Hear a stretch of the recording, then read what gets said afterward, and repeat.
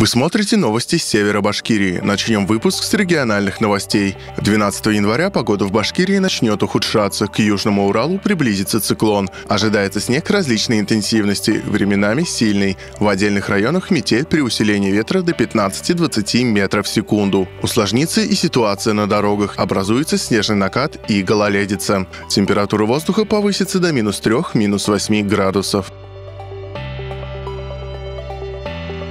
Роспотребнадзор республики внес масштабные поправки в санпины по питанию детей. Петрушку и огурцы, которые добавляют в салаты в столовых, необходимо предварительно замачивать в уксусе. Чищенный картофель нужно промывать в течение 5 минут под проточной водой. Еще одним правилом стал запрет на пронос школьной и детсадовские столовые продуктов и блюд из дома. Также Роспотребнадзор составил указания по приготовлению блюд. После закипания сосиски следует варить 5 минут, а яйца – 10. Готовые бутерброды должны быть реализованы реализованы за час, а не распроданные остатки утилизированы. К дежурству в столовой теперь допущены школьники старше 12 лет. На днях для маленьких берян в городе прошла архиерейская елка. Гости торжества не только водили хороводы, но и стали участниками театрализованного представления. В завершении праздника собравшихся поздравил Дед Мороз. Главный волшебник вручил сладкие призы маленьким гостям. 11 января в Бирске прошел танцевальный джем. Местом встречи участников мероприятия стал ток-центр «Умником». Воспитанники местной танцевальной студии продемонстрировали друг другу свои умения и способности.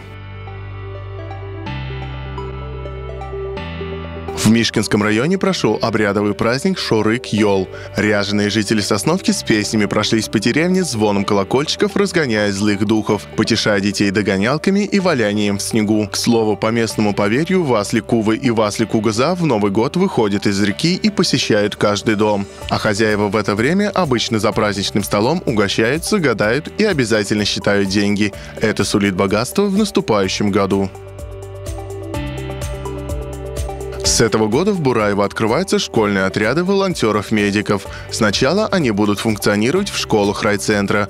В учреждениях уже прошли информационные беседы, где ученики дали свое согласие на активную волонтерскую деятельность по направлению волонтеры-медики. Ребята станут помощниками для медиков на спортивных и массовых мероприятиях. Главная обязанность школьников – повышение медицинской грамотности населения, развитие донорства крови и популяризации здорового образа жизни.